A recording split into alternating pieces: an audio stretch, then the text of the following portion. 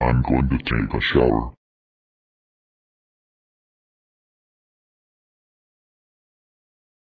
I have to use the bathroom.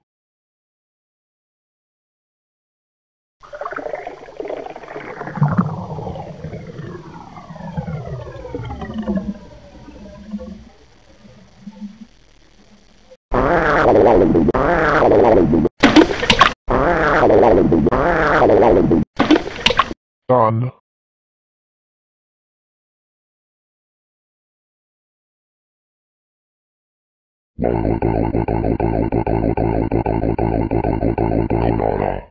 Oh no, that was Thomas' voice. Thomas, I'm so sorry. I didn't know you were in the shower. It's okay, Chloe.